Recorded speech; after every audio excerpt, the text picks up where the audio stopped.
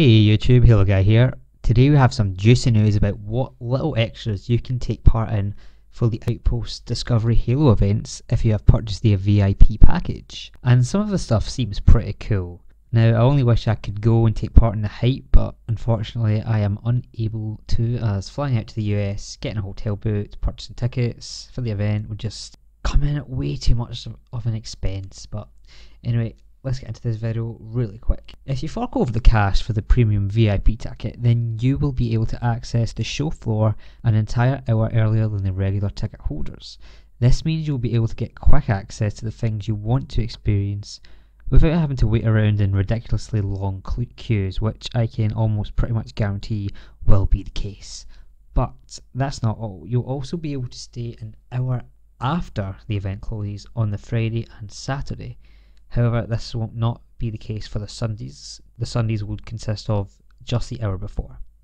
But this means that you will get access to the show floor for five whole extra hours over the course of the weekend than everyone else going, giving you plenty of time to experience everything the event has to offer without the burden of having to wait around for long periods of time to get to the favourite parts of the experience. Now, if the crowds are beginning to be a bit too much for you to handle when it starts getting really busy, then you will be covered because you will be able to chill out at the VIP lounge, which is only available for the VIP ticket holders and actual 343 industry employees. This means you'll be able to talk to the very people who make the, your favourite games, which sounds like a dream come true, in my opinion. The lounge also features an old school Halo experience where you'll be able to play Halo on Xbox 360s against other VIP members and 343 employees. And you can even see if you can try and beat them at their own game. Fireteam Raven will also be set up in the lounge, so if you haven't had a chance to give that a go, then this would be a great opportunity to do so. And of course, snacks and drinks will be available, however, I'm not sure if there will be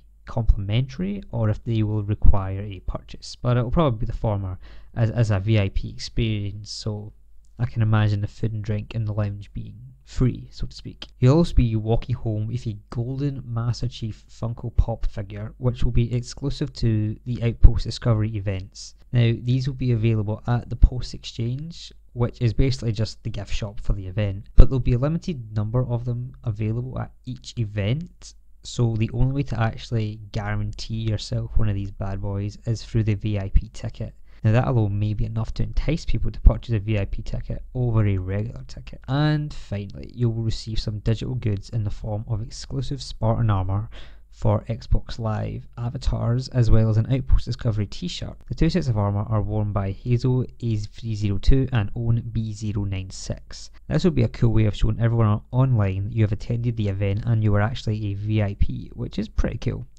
If avatar costumes aren't really your thing, because let's be honest, on the Xbox One, they kind of took a back seat, but I'm sure you'll be happy with the second digital item, which will be three months of Xbox Game Pass which grants you unlimited access to hundreds of games until the free month period ends. And once the free month period ends, you will be able to continue your subscription if you wish to do so. And I'm pretty sure it's like $10 or £8 per month, but I think you can buy it yearly for a discounted price, but I'm not sure on that. I've never actually bought Game Pass. But yeah, that seems to be everything the VIP ticket offers. Let me know in the comments if you intend to go to this event and whether or not you'll be getting the VIP experience. As always, my Twitter link is in the description, so go follow me on there. Like this video if you enjoyed, it helps the channel out a lot. Subscribe with notifications if you haven't already to get the latest videos as soon as they go live. Thanks for watching to the end guys, I really appreciate it. I'll see you guys next time, and have a good one.